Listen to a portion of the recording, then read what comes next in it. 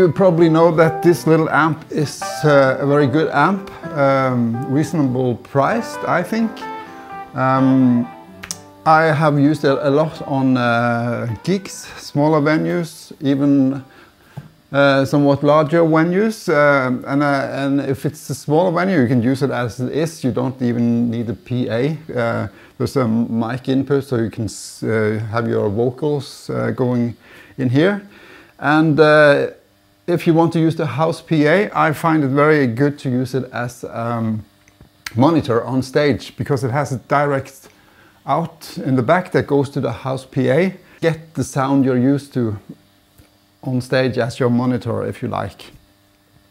So uh, what I'll show you today is that I found that uh, it also works well on an electric guitar and that came as a surprise to me because it never occurred to me to try it.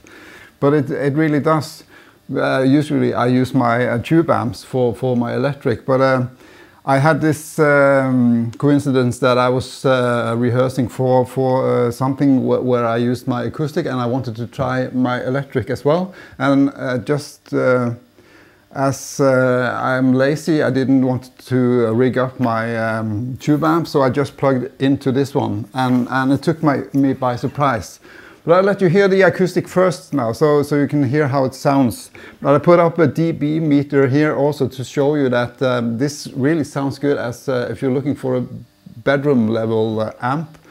It can and can do, really do that as well. So uh, let's let's start with the acoustic. And I have a small pedal board here. Uh, as you can see, uh, I'll turn everything off as it is now.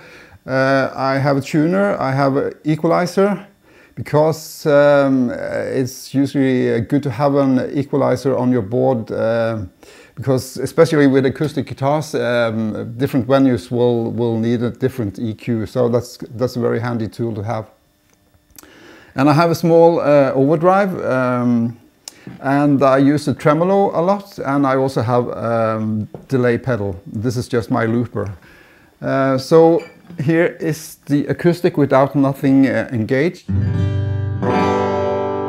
And this acoustic is uh, Gibson J45. Um, it has installed an um, LR Baggs Anthem SL. So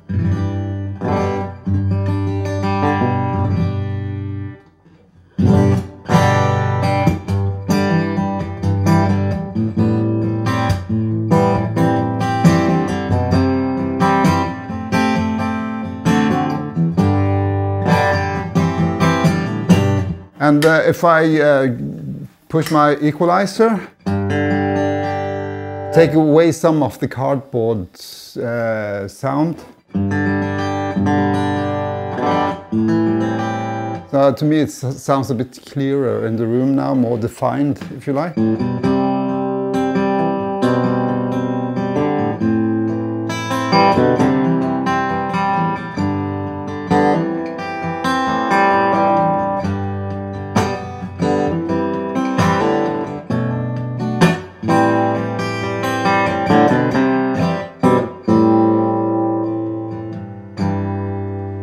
And the tremolo uh, effect on the acoustic is pretty cool.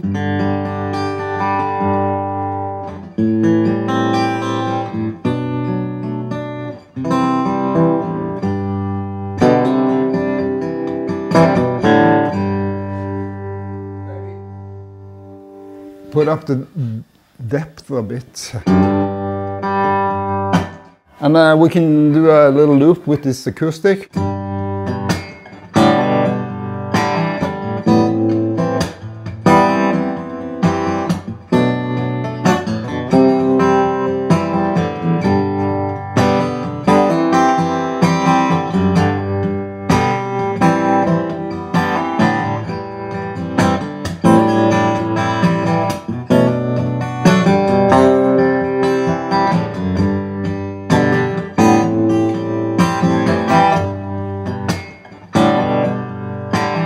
All right, so we have that loop. I'll uh, switch to the electric.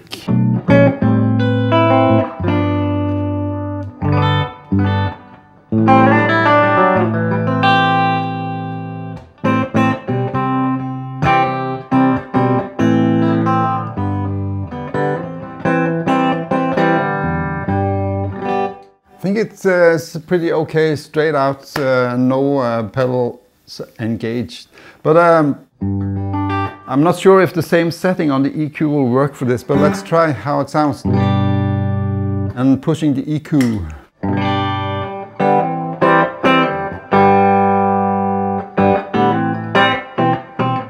It's a little bright, so I'll try and take down some of the brightest uh, here. See if that's... Uh...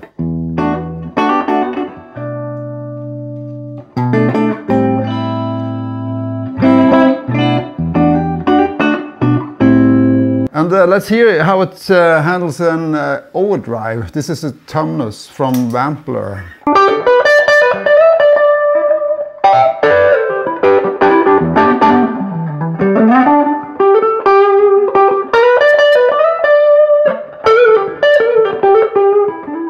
Maybe with a little delay added.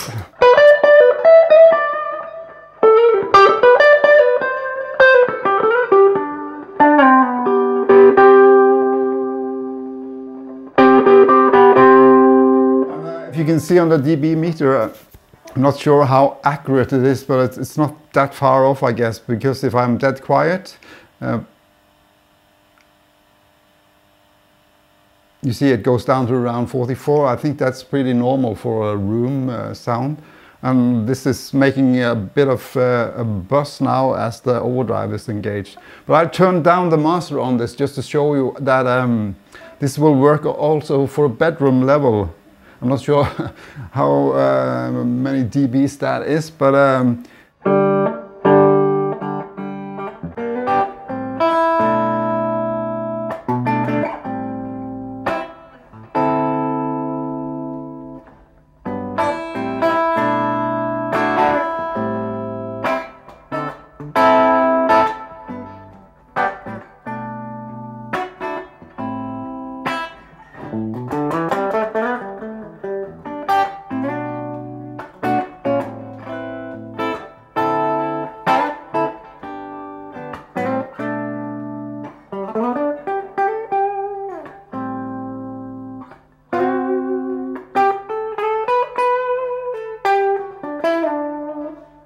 probably go further down. There's almost nothing left here.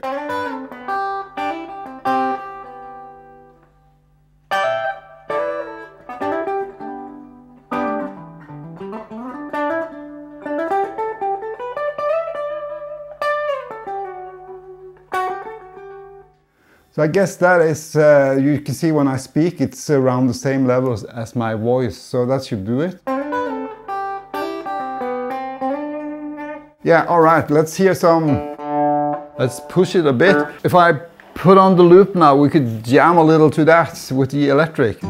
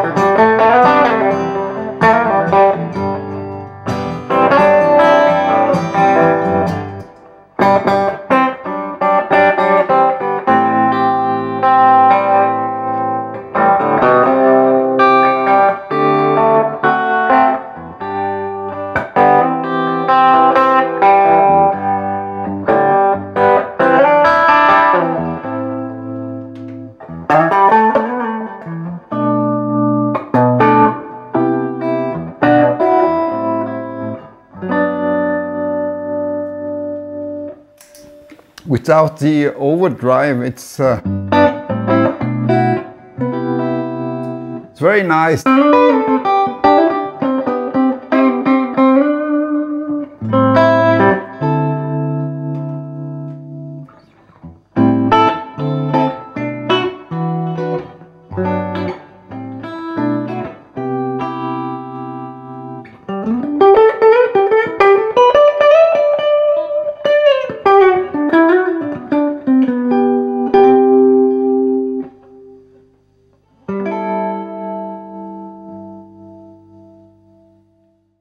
So I really don't think I need to uh, bring my uh, tube amp along to a small gig where I uh, usually just bring my acoustic and this amp. Uh, and if I would like to have this uh, electric as an addition to um, to have a bit of variations, I, I think I could do that just by plugging it into this one. It sounds good to me. All right, hope you enjoyed this. Bye.